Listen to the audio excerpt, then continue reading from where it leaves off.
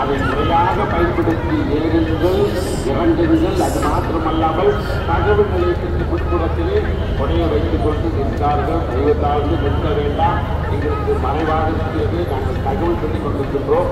ஆக தகவல் மையத்திற்கு அன்றைக்கு உடையை குறித்துக் கொண்டு நிற்காதீர்கள். மன்னிக்கவும். ஆக இந்த மத்திய குறித்து தகவல் முடிகாணிக்கை முடிகாணிக்கை முடிகாணிக்கை மண்டபத்திலே இருக்கிறது என்றால் நம் சனீஸ்வரன் ஆலயத்திற்கு பின்புறத்திலே இருக்கிறது.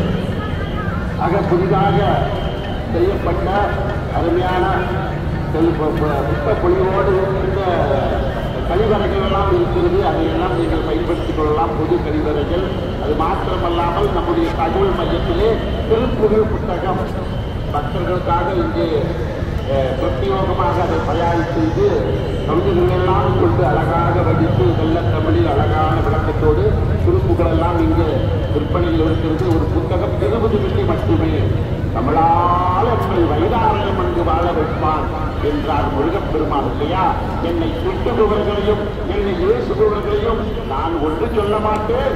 அவர்களுக்கும் நான் அருள் புரிவேன் என்றார் முருகப்பெருமான் அருள்கிரிகாரிடம் ஆகவே தமிழால் என்னை வைராலயம் அங்கு வாழ வைப்பேன் என்றார் முருகப்பெருமானே ஆகவே அந்த திருப்புகளெல்லாம் அந்த விளக்கங்களெல்லாம் அந்த முத்தைத்தல் வத்தி திருநகை அத்திக்குரு வித்துக்குரு என ஓடும் என்ற பாடலெல்லாம் இதனுள்ளே குடிக்கப்பட்டு அழகாக தெளிவாக எடுத்துரைக்கிறது.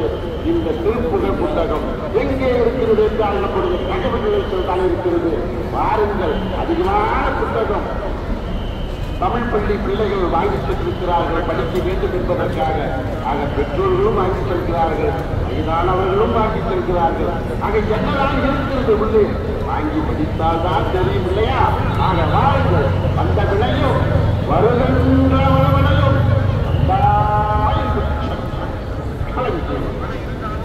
அன்பான பக்தர்கள் கவனத்திற்கு இந்த மழை வேலையில இரவு நெருங்கி கொண்டிருக்கிறோம்.